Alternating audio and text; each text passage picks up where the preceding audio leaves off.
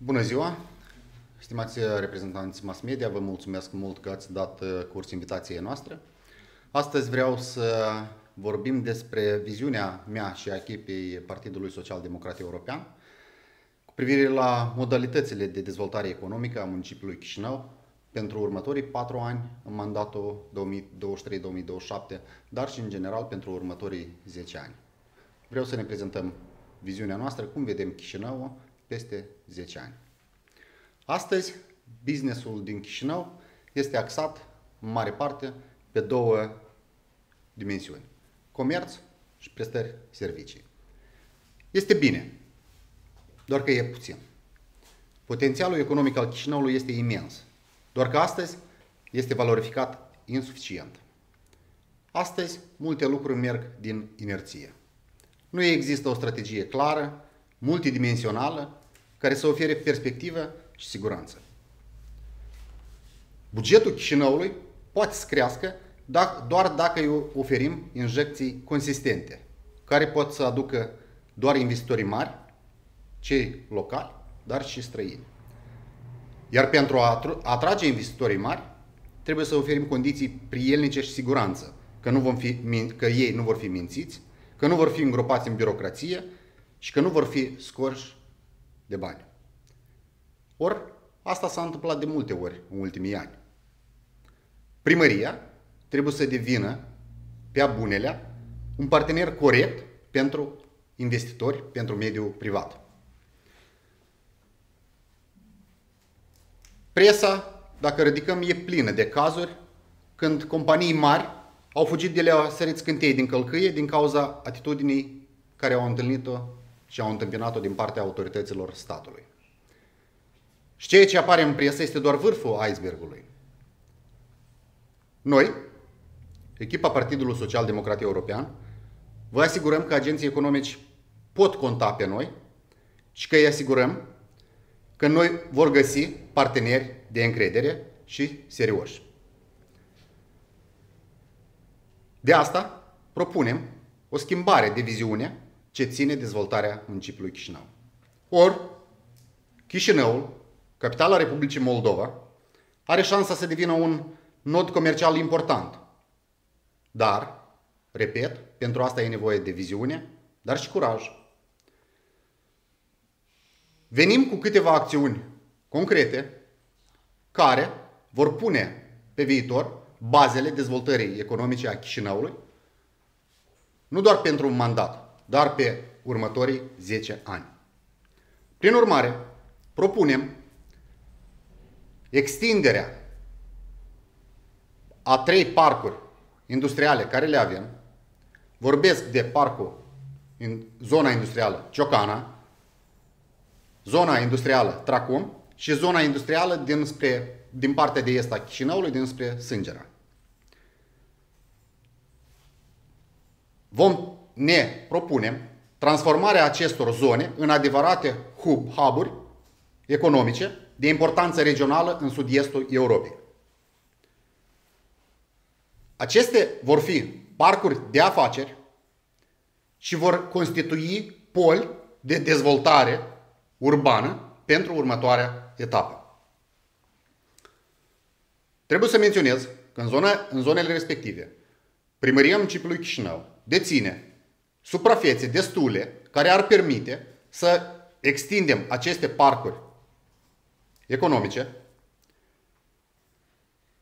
și vom organiza concursuri de soluții pentru reconversia urbană a acestor.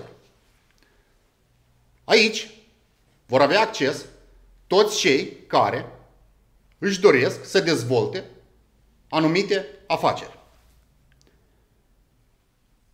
Ele vor fi centre tehnologice, industriale, centre de IT și industrii creative. Pentru a crește ritmul de dezvoltare economică, administrația locală trebuie să susțină politici care să dezvolte în continuare orașul cu resurse complementare industriei. Prioritatea noastră pentru următorul mandat este dezvoltarea economică a Chișinăului, iar sloganul care îl avem în acest sens este, sunt locuri de muncă bine plătite, aproape de casă și asta nu va fi doar un slogan, ci vor fi modul nostru de acțiune. O atenție sporită vreau să atrag uh, dezvoltării parcurilor IT.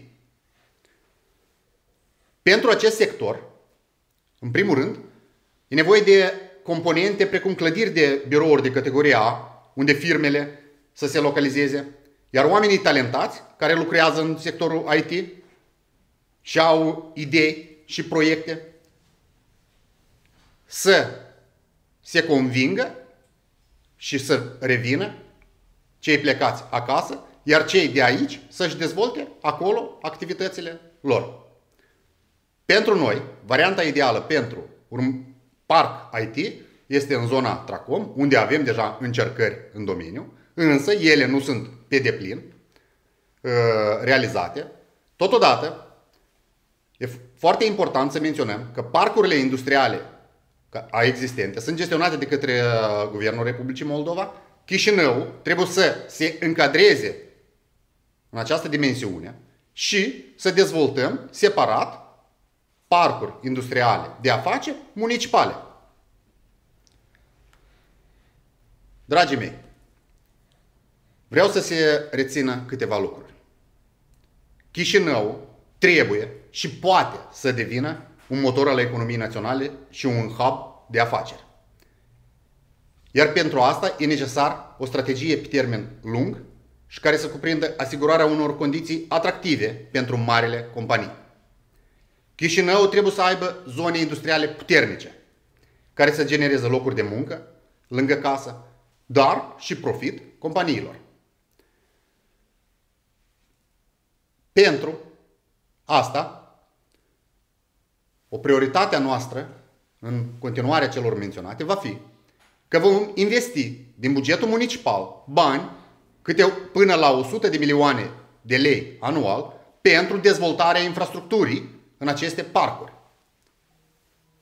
După care vom oferi spațiile nu contra cost și să vindem terenurile doar, dar să propunem să oferim aceste spații, terenuri, pentru dezvolta construcția anumitor obiective, primăria menținându-și dreptul de proprietate asupra terenurilor, iar companiile să vină pe un termen anumit, 25 de ani, 15 ani, doar ca să-și dezvolte afacerile.